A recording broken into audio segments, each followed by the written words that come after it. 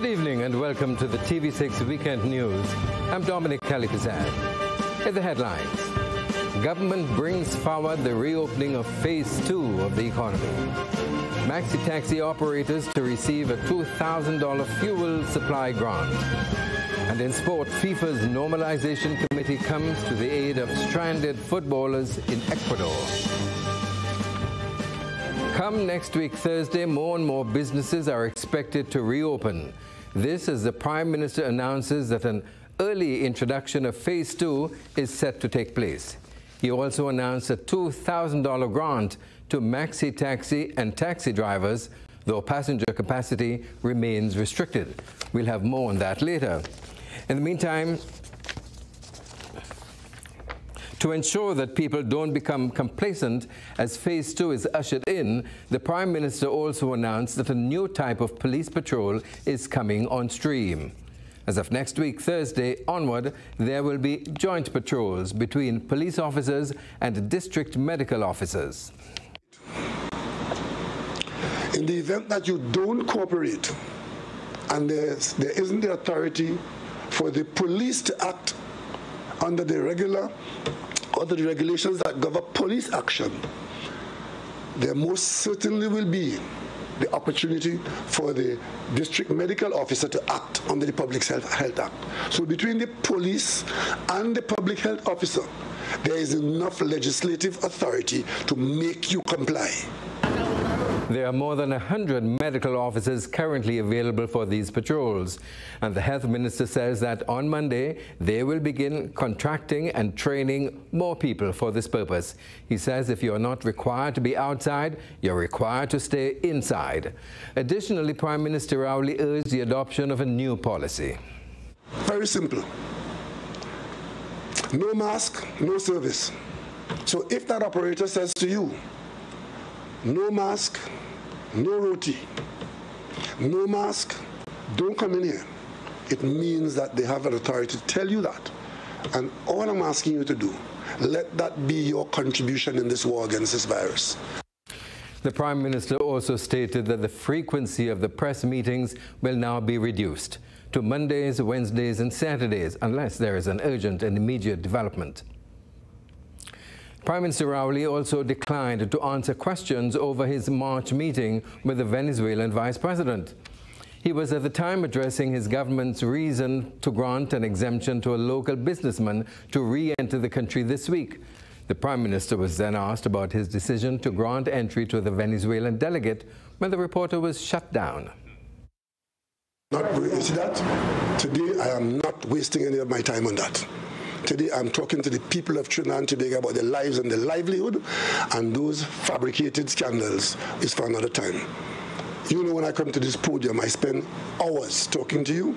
Today, I'm not raising that. Not because we're afraid of it, but because I just don't want the population to be confused with foolishness. Dr. Rowley then promised that at a later date, he would address the issue. The NGO Helping Hands has collaborated with the Ministry of Social Development to assist people who have been affected by the ongoing pandemic and are seeking to be registered for salary relief grants, social relief grants, income assistance, and temporary food cards. Nicholas Singh has the details.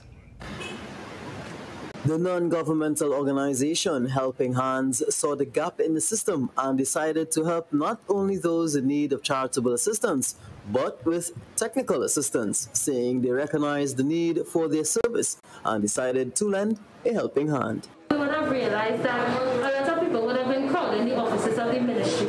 So one of the things that we wanted to do is reduce those number of persons that were crowding the ministry's office and also assist those persons who does not have the um, material required to fill out the application form. So for example, we would have persons who need to fill out the application form so they don't have a computer or a printer at home to do so. They may not have a scanner to scan the documents to upload them. So we provided that service to assist those persons who would have been in need of that. Councillor for Macoya, Trin City, Josiah Austin, was also present to help distribute hampers to persons in need, saying this was the third time they were doing so. So we have over 100 people. This is the third leg.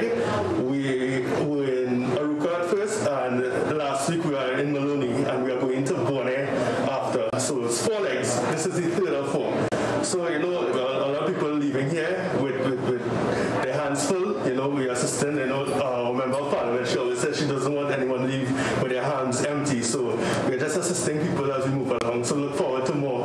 Uh, we should be moving to Bourne next. Nicholas Suchman Singh, TV6 News. A 61-year-old woman is among a number of people arrested by Arima police officers overnight for breaking the public health ordinance regulations. Officers were busy enforcing the COVID-19 restrictions in that area, arresting several people for congregating in groups of more than five. The exercise, which was carried out from 7 p.m. to midnight, saw officers going to Jacob Hill Road, Wallerfield, at around 8.45 p.m., they noticed a group of men standing in front of a mini-mart. The men were asked to disperse and they complied, and the owner of the mini-mart was informed that her business was required to close at 6 p.m. They entered the premises suspecting that she was also selling alcohol without a license, which led to the woman's arrest. A quantity of alcohol was seized. Later, the officers had to shut down a COVID party at Martin Lane Arima, which had a crowd of about 25 people. Then, over in Samaroo village, closer to midnight, a group of people were observed liming on the roadway consuming alcohol. Since police say they had been warned on previous occasions, five people were then arrested and then taken to the Arima police station. Of course, investigations continue into these arrests. Ahead on the TV6 Weekend News, the health minister looks after the safety of his constituents. Stay with the TV6 News. Paper claims? Yes, please. Paper statements? No thanks. You've probably received paper statements for most of your life. However, soon paper statements will be gone. With electronic statements or e statements, you can get all the banking information you need 20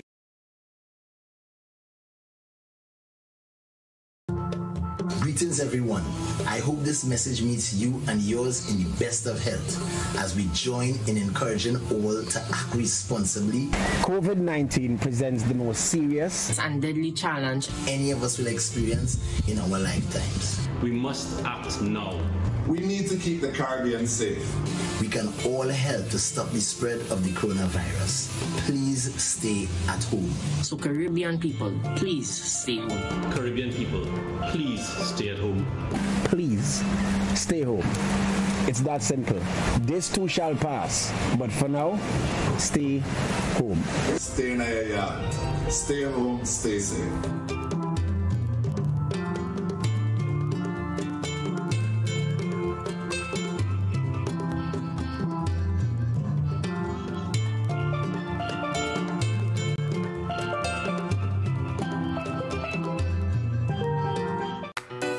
Long ago, the strength of Grenadians was in their arms as they worked the lands to get food for the table. Nowadays, most Grenadians' plate is packed with lots of starch and meat, little or no vegetables, plenty fried foods, and they wash that down with something sweet while sitting in front of screen. Hard work and exercise seem to be out of style, and lifestyle diseases are becoming the fashion of the day and claiming many lives. Let's make a change to live longer. Let us grow and enjoy a variety of natural and safe, fresh vegetables and fruits every day. Use our local fresh seasoning and spices to make our traditional dishes healthier and avoid highly processed foods, snacks, and drinks.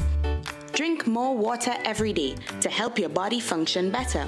Get moving every day and trade some screen time to share and enjoy healthy family meals.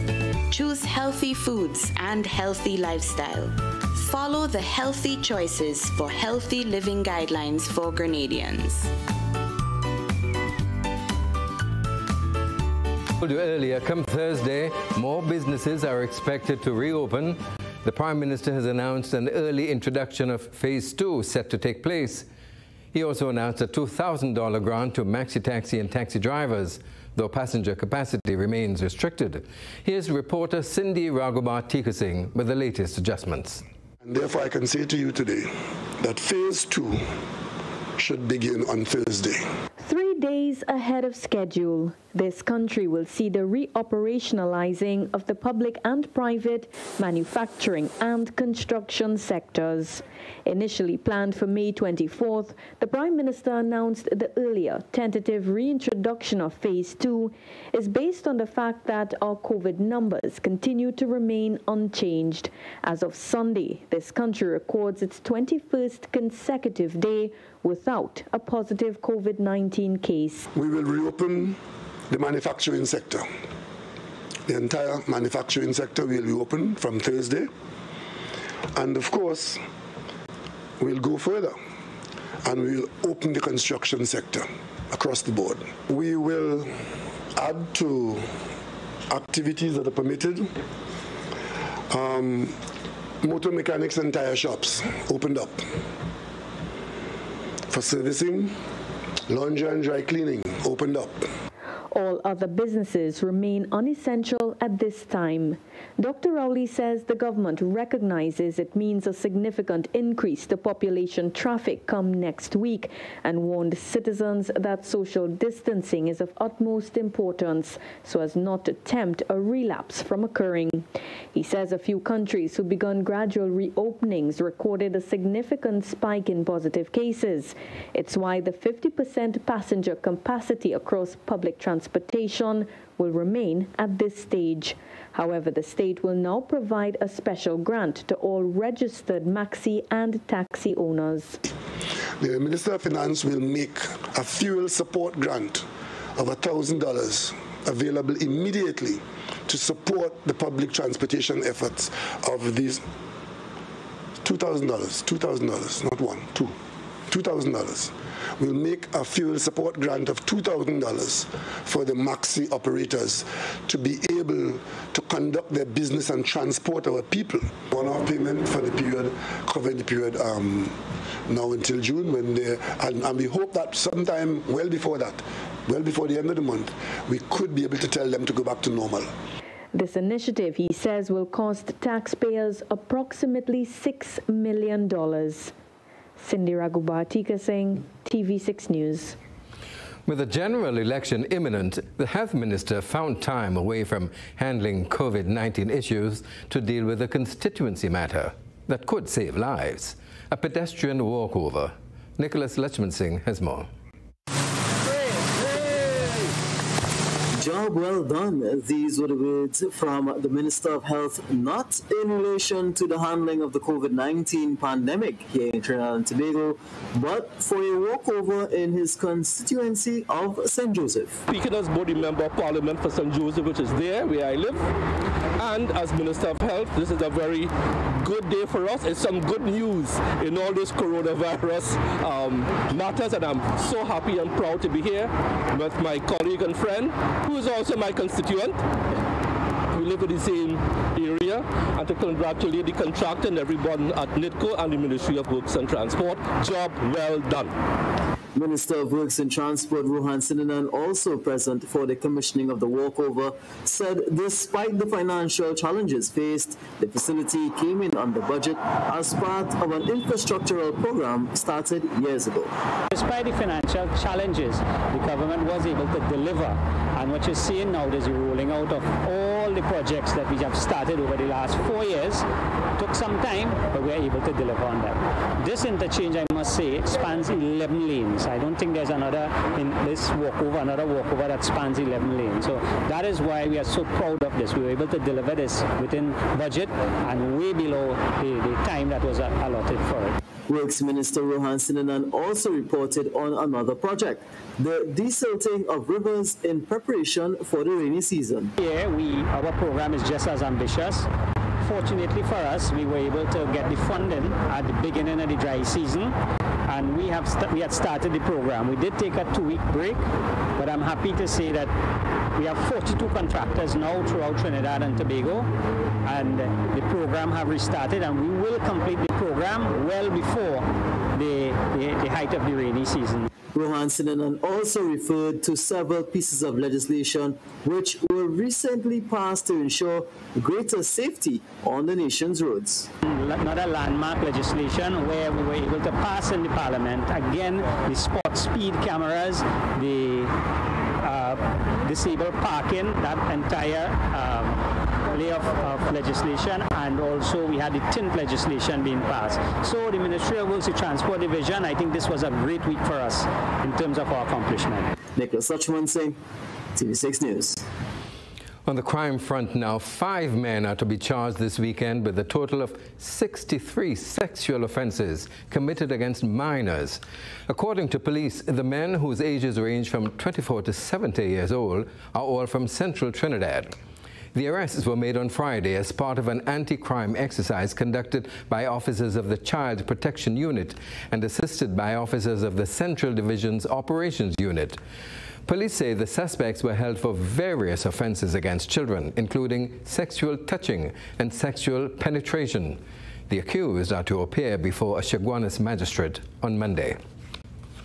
And a 53-year-old man has been charged with the murder of his 26-year-old nephew. Joseph Arles, a mechanic of Phase 5 La Horquetta, was charged on Friday following instructions from DPP Roger Gaspard. According to reports, the victim, Margin, Marvin Hostin, was at home in La Horquetta on Monday when he was stabbed several times about his body. Arles, who was arrested on the same day of the stabbing, is expected to appear before an Arima magistrate on Monday.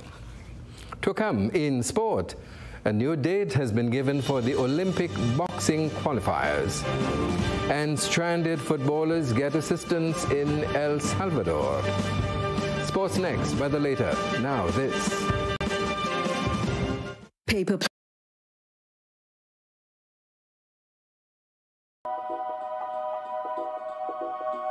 The Grenada Food and Nutrition Council remind you to boost your immune system and give yourself a fighting chance against COVID-19. Consume foods that are rich in vitamin C, like fruits and vegetables. For example, oranges, grapefruit, mandarin, lemon, spinach, cabbage, and tomatoes. Vitamin B6 and folic acid that is found in chicken, turkey, fish, grain foods like oats, bread, bread, local provisions, dry beans, and peas. Another immune system booster is vitamin E, found in nuts, corn, sunflower or canola oils, and leafy vegetables like spinach, broccoli, and kale. Iron, zinc, and vitamin D are also important to strengthen your immunity. So try foods like lean meats, eggs, lentils, mackerel, tuna, and jacks. Our local spices, ginger, clove, and turmeric, among others, can help decrease inflammation and support the immune system. Remember to practice safe food handling. A message from the Grenada Food and Nutrition Council reminding you that a strong immune system is one of the best ways to fight COVID 19.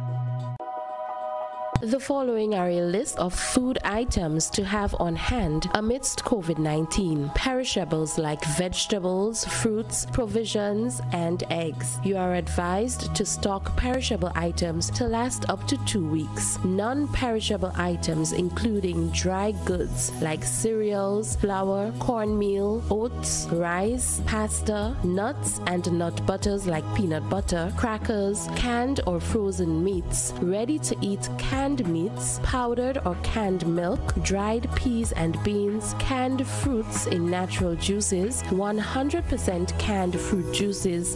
Finally, relief. You can stock non perishable food items to last up to one month. Store bottled or. has worked with the El Salvador Football Federation to ensure that Trinidad and Tobago footballers Jamal Williams, Jamal Jack, and Jamul Francois are kept safe until they can return to TNT.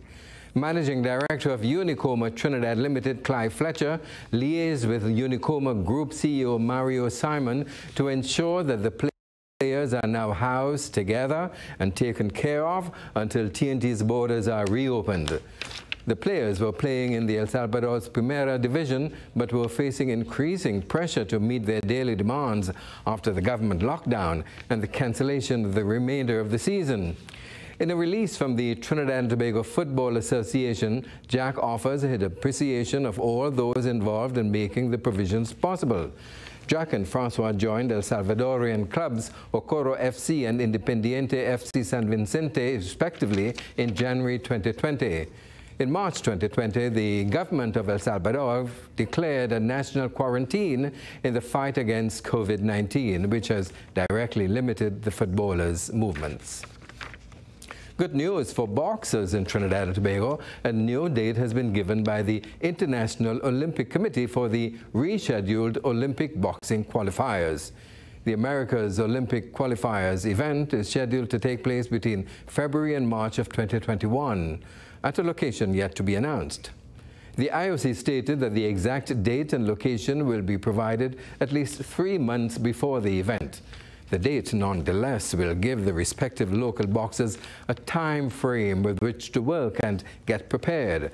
The IOC has also given the new criteria for qualification. It stated in a release that athletes who did not earn a quota place in their Continental Olympic qualifier may be registered to participate in the final World Cup World Olympic qualifier in which their NOC has not already earned and accepted a quota place.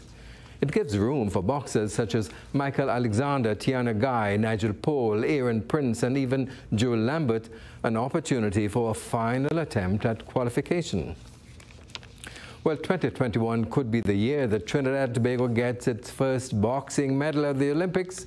That's the belief of boxer Aaron Prince, who says it's on his bucket list as he attempts to go where no local boxer has gone before. The veteran believes accomplishing the feat will help silence his critics who have questioned why he hasn't turned pro.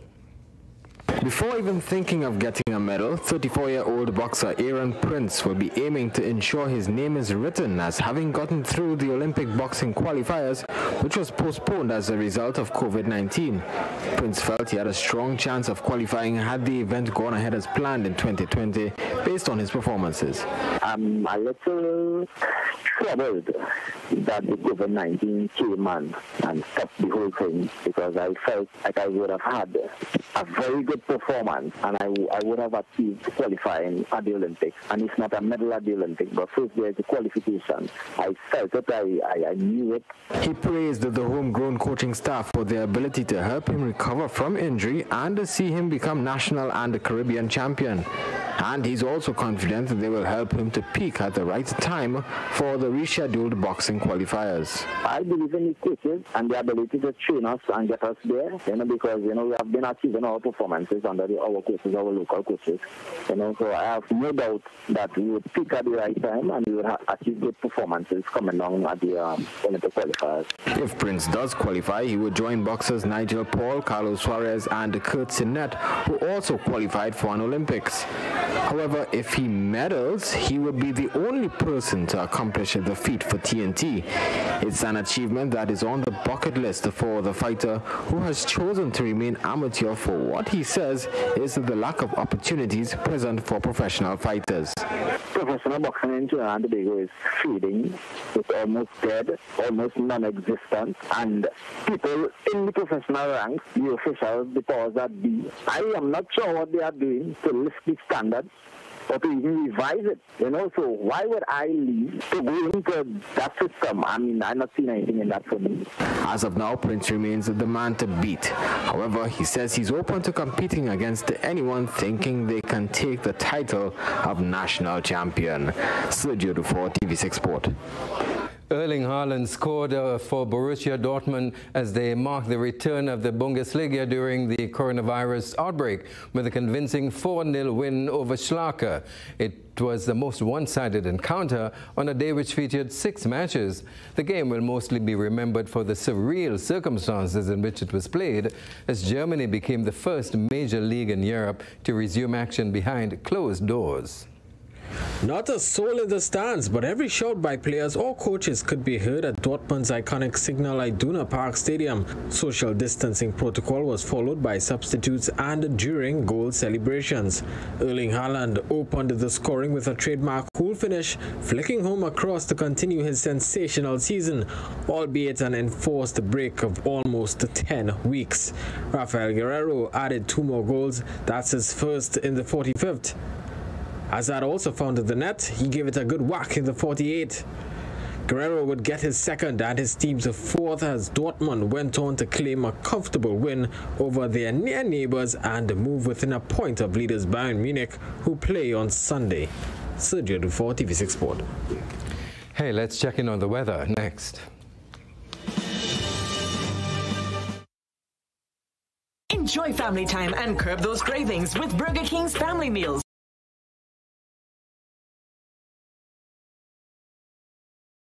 Five things you need to know about self isolation. Stay home. If you are told to self isolate, it means staying at home, not going to work, school, or other public places, and you should not have any visitors. Separate yourself. If you live with others, then you need to stay in a well ventilated bedroom with the doors shut. If you have to share a bathroom, then use it after everyone else. Don't share towels and toiletries, as this may put others at risk. Call ahead. If you develop symptoms such as a fever or cough, then seek advice first by calling the Ministry of Health's hotline at 538 4787 or 458 4787. Please do not show up at a medical center or hospital as this may put others at risk. Take care with waste. If you test positive, your waste should be double bagged and disposed of separately. Create a buddy system. If you live on your own, you can plan with friends and family to check in with each other and run essential errands if one becomes sick. Once sick, they should leave groceries on the doorstep. Why it's important. COVID 19 causes a mild illness for 4 out of 5 persons. Self isolating will help protect the older generation and those who may have underlying health problems from getting infected.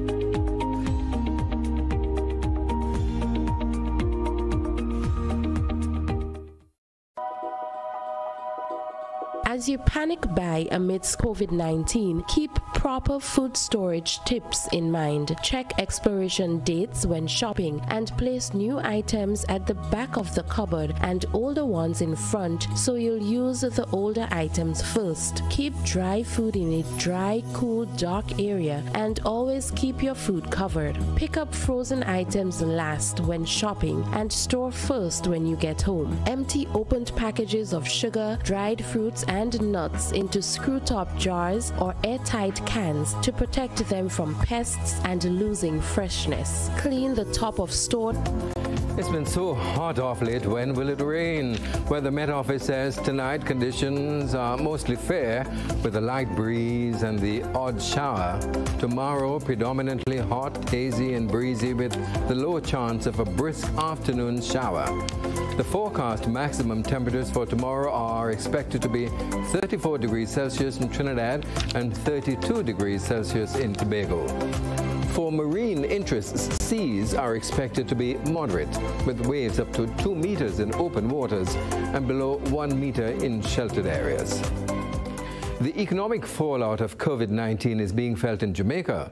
The RJR Gleaner Communications Group has laid off 93 workers and implemented salary cuts for others. The management says it has become necessary to implement a range of internal measures to reduce expenses. It says while the entire group has been negatively impacted, the print operations have been seriously affected both locally and overseas. In Barbados, there's word that the secondary school's entrance examination, or common entrance exam, has now been rescheduled to July 14, 2020. The exam was originally scheduled for May 5th, but was postponed because of COVID-19. And that's the way it was. I'm Dominic Calipizad. On behalf of Team 6, good night and remember, stay home, stay safe.